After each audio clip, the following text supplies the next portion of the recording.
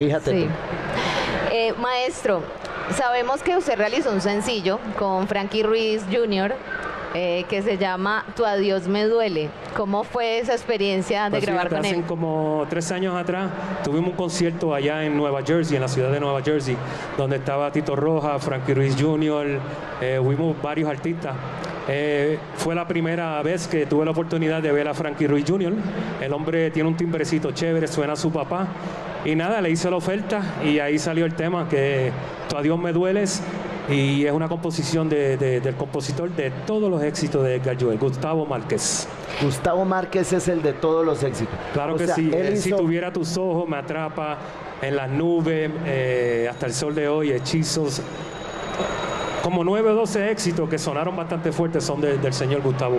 ¿Dónde está ese señor? Él es argentino, pero en estos momentos está re- residiendo en Santo Domingo. Ok. En la República.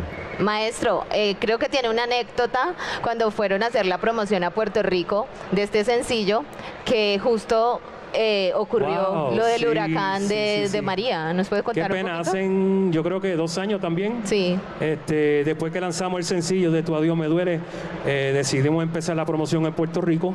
Y yo me imagino que todos ustedes se enteraron que Puerto Rico, la tormenta y el huracán María, pues obvio, hizo muchísimo daño. Mira que se me pararon los pelos. Me pongo sentimental. Pero la tormenta me, me- me cogió allá en Puerto Rico y se canceló todo, no pudimos hacer promoción. Pero nada, gracias a Dios el tema se dio y hasta el sol de hoy, como digo, estamos aquí vivos, que es lo importante. Claro, es lo importante. Claro que sí.